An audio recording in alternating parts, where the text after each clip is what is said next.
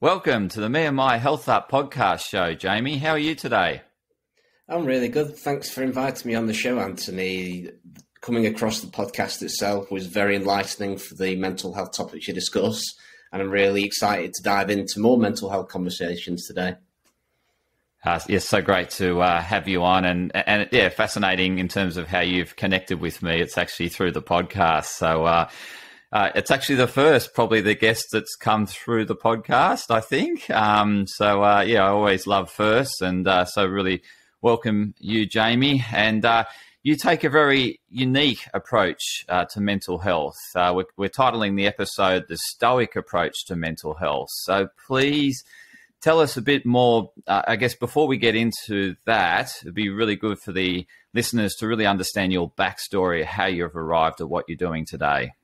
Yeah, well, this is going to get into a really nerdy conversation because I love all these deep dives. so basically, my background actually comes from copywriting. That's what I do for a living. But the mental health side started when I was very young as a, a kid. And, you know, from my generation, really, I'm in my late 20s and the dichotomy of different generations learning different things is always fascinating to me but equally there was also a lot of stress on mental health as well when you know you're young as a kid too. And i'll hold my hands up and be 100% transparent as a, a, young lad. I had a bad history of social anxiety and i think as men particularly obviously we're kind of or sometimes we look to think that we can't talk about our feelings openly sometimes. And i really struggled with that when i was younger. Even into my early 20s that was quite difficult to sort of broach and to do in a work environment. And even over the pandemic, that was even worse because obviously we were all going through a lot of anxiety.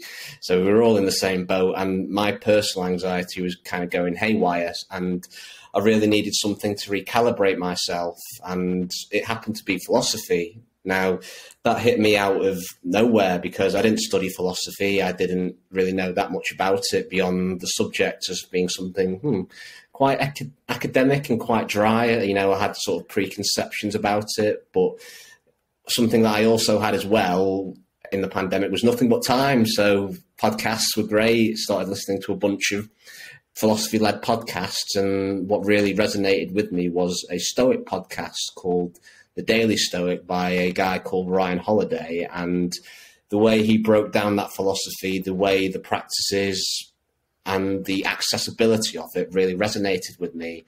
And just anything that remotely interests me, I have a, a, habit of just diving down the rabbit hole as much as possible. And from there, it just like grew and grew. And I, I love the simplicity of the philosophy and how it can improve mental health, but also make you more conscious of your environment as well. Yeah, so please, please share this Stoic approach to mental health. Inform the listeners as to what it is, where it comes from, and how it works.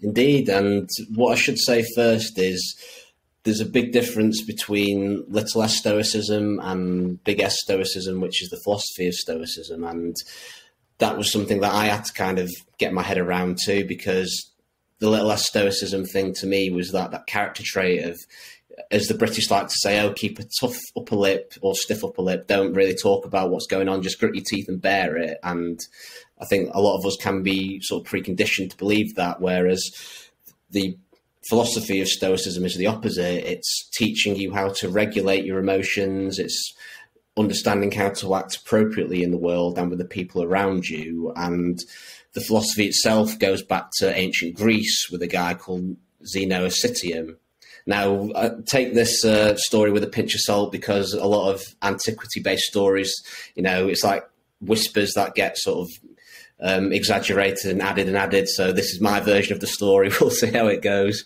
So Zeno was a merchant who was um, moving precious goods to Athens, I believe, and he was caught in a shipwreck, which completely turned his whole world upside down. He was left stranded without anything. He needed to recalibrate himself. He was in the Athenian marketplace trying to hold on to something, and he wandered into a bookstore. Now, he was fascinated by the books that he found. He found a book by the philosopher Xenophon, who wrote about Socrates. And this blew his mind and he looked to the bookseller and said, Where can I find guys like this who can teach me these kind of things? And as the story goes, another philosopher was walking past called Crates, and the bookseller pointed him out and said, That's the guy you're looking for. And from that point on, Zeno followed Crates, who was a Cynic philosopher.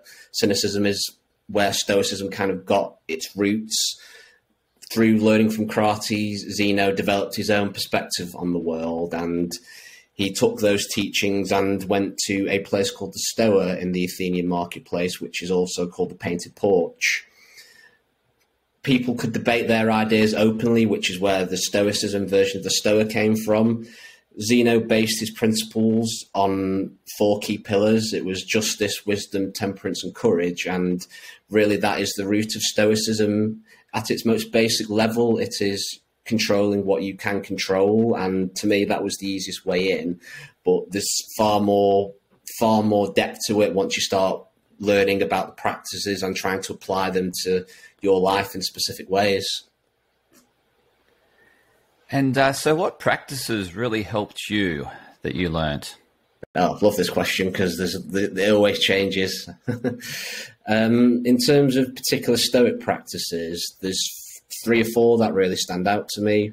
One of them is called the view from above, which is attributed to the Roman Emperor Marcus Aurelius. And as an aside, this is quite fascinating when I found out this. Uh, cognitive behavioral therapy has a lot of its original roots in Stoicism.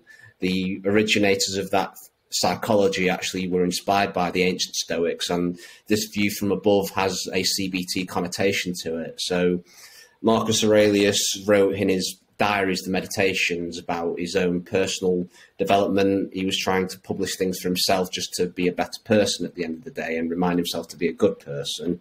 The view from above essentially boils down to taking a step back from yourself and to take more of a big picture view of a situation so you can diffuse emotions such as anger or anxiety.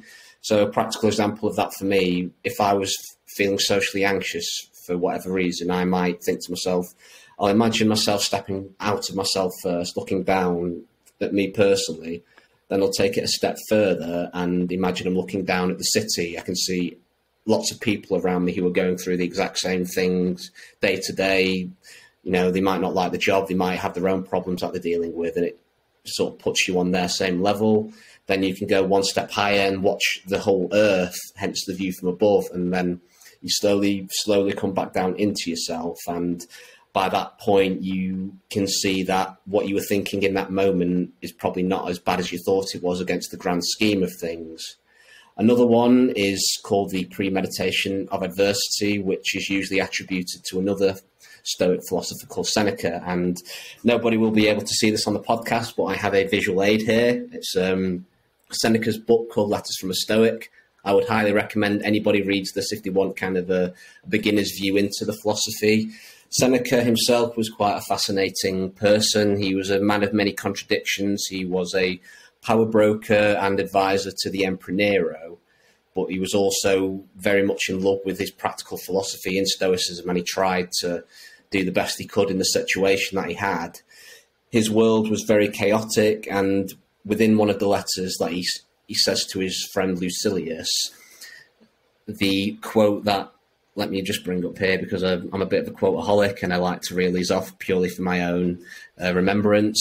The quote from the premeditation of adversity from Seneca is We should project our thoughts ahead of us at every turn and have in mind every possible eventuality instead of only the usual course of events. This is why we need to envisage every possibility and to strengthen the spirit to deal with things which may conceivably come about. Rehearse them in your mind exile, torture, war, and shipwreck. And now, when I came across this concept as well, I, I scratched my head a bit because that sounded quite negative to me, but it's the opposite. It's rehearsing for the worst case scenario so you can be, be better prepared to be more resilient against it. A practical example of that in copywriting, what I do, I might say to myself that I can prepare as much as I want to go with a a client who I'm going to do the research for. What would the worst case scenario be? Oh, I might not be prepared.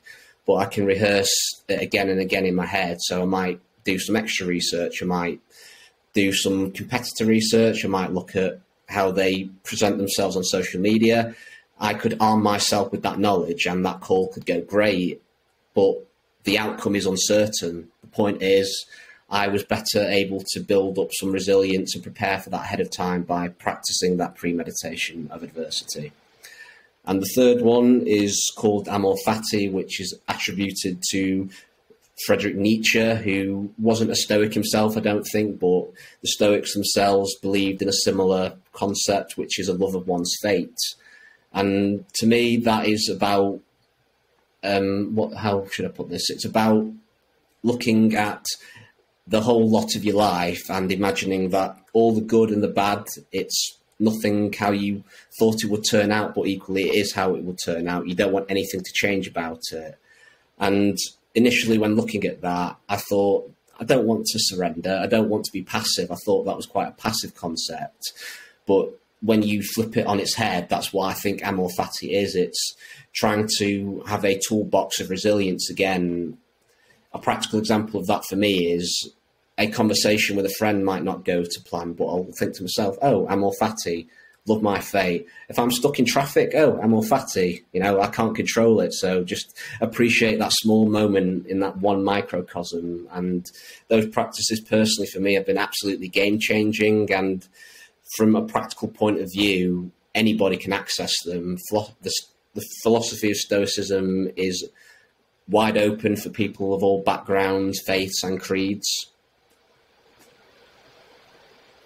Yeah, it's fantastic. I really liked uh, the three that you shared with us, uh, particularly taking that bird's eye view of the, you know, your thought. And I think what generally happens is that people um, stew on the thought, and the, the thought becomes a lot exaggerated and you know scarier the more they just focus on the thought. But you capture the thought, you recognize the thought, you then step away from yourself and you look at it from like a, a, bird's eye view and eventually you step your way out of the universe and, and, and you're putting that thought in perspective uh, which is fantastic so essentially that thought is being uh, put into context and dissolved in some sort of way it's been minusculed as opposed to exaggerated and made bigger which generally what happens when people are stewing on issues uh, they make them bigger and worse and scarier so I, I, I really like that. And then, you know, the, the, the, second point around that preparing for the worst um, uh, case scenario. And uh, again, I mean, corporations do this in terms of their plan B, plan C. And, you know, obviously a lot of that sort of uh, scenarios were played out during COVID. And yeah, so it's certainly, it's that good, um, uh, I guess, as you said in copyright, it just makes you prepare better, um, and so you obviously do a better job for the uh, for your client uh, because you're preparing uh, and yeah, I, I, guess you know, and, and, looking at different ways in which uh, you can better write and um, better convey your message.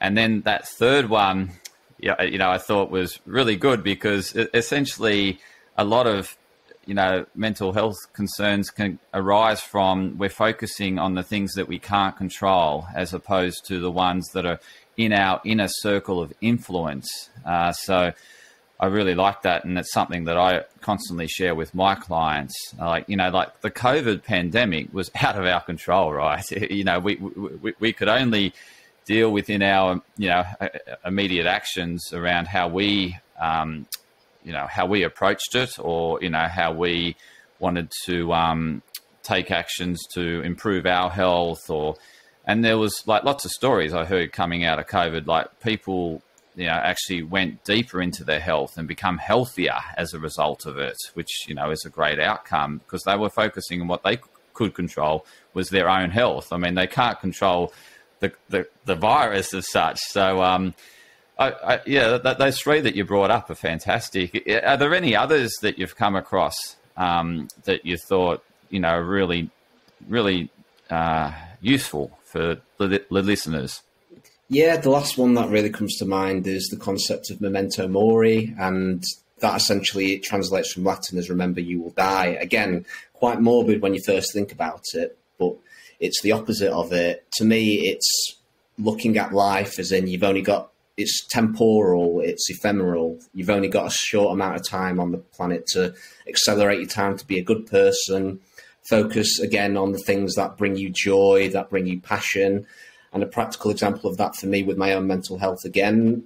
In my family, we have a congenital disease of muscular dystrophy on my father's side. And that, again, that was out of our control. We've known about that for about 10 years. And there was always that sort of little voice in the back of my head what if I have it? What if I pass it on to my future kids? And up until getting tested, I actually wore a memento mori medallion for about 30 days after I got the test. And I just kept thinking to myself, trying to pair it with that premeditation of adversity exercise as well. Just what if, what if, what, what if I do have it? What if I don't? And by doing that repeatedly, it really kind of just you know muted the anxiety about it. And luckily, I didn't have it, and that was just such a I can't tell you how much of a relief that was for the family, for my mental health, for everything. It was just such a weight off my shoulders, and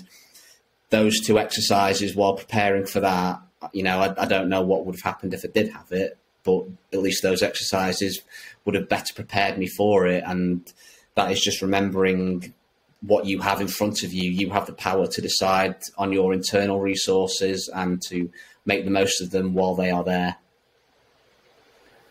Absolutely, yeah, and uh, I think um, yeah that would have been a really hard period uh, for you, you know, in terms of the unknown. But uh, as you said, you were thinking about all sorts of scenarios and and how potentially they would play out, and I guess that in in that sense, it puts you into some control because you're um, thinking as to what actions you could take and what you can do about it. It's like what you can do about it, um, it, it, you know, as opposed to worrying about something you can't do anything about. Like it's sort of, and it, I guess in, in, in a sense, it helps with that acceptance, doesn't it? Um, that if it does play out in one of your scenarios, well, you, you, you've already rehearsed it, so to speak. So um, as much as you don't want it, uh, you've you can probably better accept it, uh, and it won't come as such a shock.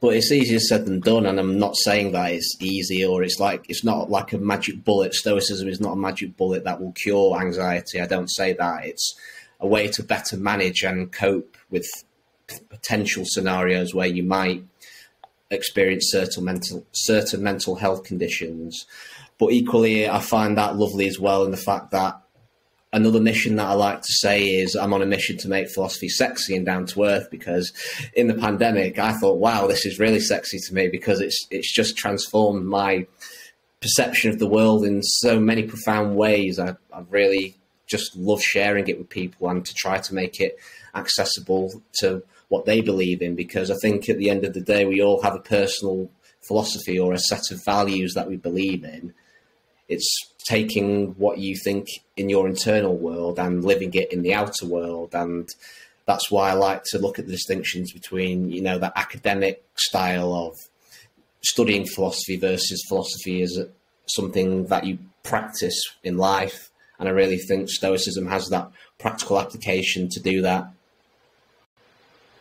Yeah, it's it's fantastic that you're um, living what you're preaching. Uh, so that's fantastic you know, really authentic way to uh, go, and, and and it you know works for you. So you're sharing what works for you, and and others can give that a try. It may or may not work for them, but uh, at least it's another um, resource that they can call upon. Uh, and you know, the, everyone's completely unique and different, as you're aware. And you know, you've probably tried some mental health practices that other people have shared and you just think, well, you know, it just doesn't work for me. And like, you know, I, I hear that a lot in clinic uh, as well around meditation. You know, it just can't, you know, just it's just not me. you know, like it's, uh, but you know, there'll be something else, some other form of mindfulness that really resonates with them. Uh, so, is what other mental health practices have you come across that have really helped you along your journey? Oh, that's a good question because there are a lot. So going a bit further away from Western philosophy, I'm a bit of a Japanophile. I love Japanese culture. Diving into that sort of viewpoint with like Buddhism and Japanese philosophy. That's very interesting. There are a couple of techniques that sort of have really helped me. One of them is called forest bathing, and when I first heard that, I was thinking, surely I'm not going to run through the forest naked. No, no, no, no. Thank God it was not that. Yeah, literally, it's just walking in like a green space and trying to take a moment to breathe, listen to the bird song, try to be more present in that natural environment and clear your mind. And I love doing that in the summer months. It's very empowering and very freeing.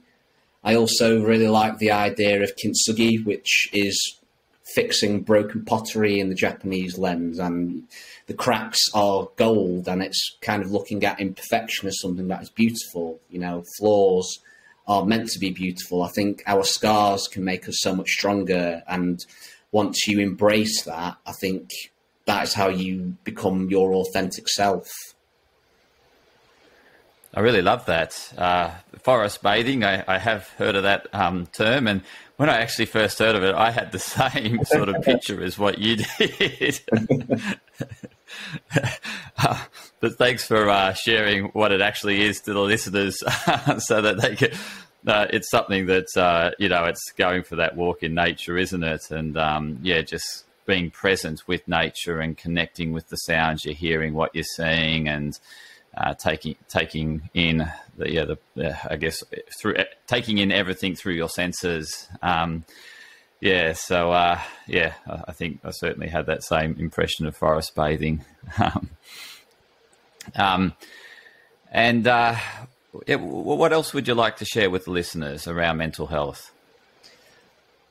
Well, I'd like to say that obviously everybody is going through their own unique situations, and as we discussed as well, I don't claim to offer any advice that cannot work for that particular person. I can only share my personal experience. But what I have found is there's multiple kinds of philosophy that can be applied to mental health. There's Stoicism, there's Epicureanism, which is slightly different but also has very similar principles. There's existentialism, which preaches trying to be free. That's another interesting rabbit hole to dive into. But what I do like as the universal connector of the subject is each kind of school of thought is trying to bring the path towards a happy life or your best lived life. It's trying to improve yourself as a person, trying to uplift everyone around you. And I think we can all resonate with that at the end of the day, regardless of what you believe. It's just about being a better human being and improving your mental health and improving other people's mental health with very small acts of kindness is the right way to start, I think. Absolutely, and and you're living that, Jamie. You know, in terms of your own mental health journey, uh, digging deep into the research and looking at uh, what are you know what are the avenues that you can continue to improve your mental health, and uh, it's it's a constant and never-ending journey around improving yourself, and and then and I really love your what, what you do is you take what works for you and you advocate that and, and, and share that with others. And then you know that gives them the opportunity to know about another useful tool that may be helpful for them. Uh, it may not be as you say because you know everyone's unique and different and what works for one person may not work for the other. But i really love that approach. And I also love that last point you made, which was around the flaws and, and, and not seeing them as um, uh, you know imperfections, but it's it's part of the uh, it's part of the journey of growing and um, and accepting who you are and you know your unique characteristics as opposed to exaggerating those flaws and seeing them as something that's uh, that's imperfect. Um, so because uh, I, I think what I see today is a lot of um, you know this uh, I guess body image and uh, body uh, dysmorphia and things like that. And, you know, people, as you mentioned in the very start of the podcast, just focusing on small things and really exaggerating them and make, making them out to be really big problems. But in the scheme of things, they're, they're nothing. And if you look at it from another perspective, some people may admire that, what they think is a flaw in them, some people may say that that's something I want, you know, like um, so uh, yeah, I, I, thought that was a, another good thing that you uh, shared was around that, um, uh, you know, crafting yourself to be a better version of you. Hmm, and I suppose I'd like to also touch on one of your previous episodes with Dr. John Demartini, actually, because I was thinking about how, you know, the brain gets rewired with trying to cultivate better habits and I do believe that is very important from a mental health perspective as well. Again, everybody has their own way of doing this, but once you kind of have that routine that you can build upon, you have that strong bedrock, then the more you repeat that, you know, you live it then. And then that is another kind of philosophy. So I find that a very powerful concept. Absolutely, and uh, having read you know many of uh, Dr. John Demartini's books, it's all about finding those. Uh, you know, in in order to change something in the brain, you've got to develop many neural pathways and really embed that connection. Uh, and he talks about, you know, I guess strengthening those myelin sheets around the neural uh, networks. And uh, so, you know, often when he's working with his clients, he'll actually keep asking them uh, what else, what else, and they keep coming up with more examples and strong strengthening that connection in terms of dissolving that negative thought uh, or helping them through a, you know a challenge. Uh, so um, yeah, it's it, it's exactly that. In order to rewire, it's that repetition is the key, and I'm sure that all the practices that you've shared are, are, are, constantly applied throughout your day when because thoughts are constantly coming in in, into our head, and uh, positive and negative, um, uh, depending on environmental triggers and and uh, random thoughts just pop in there. And uh, yeah, it, it's really up to us whether we want to just let that th- thought pass through or we want to examine that thought f- further. And as you've done, you know, you shared in terms of put that thought into perspective. Um,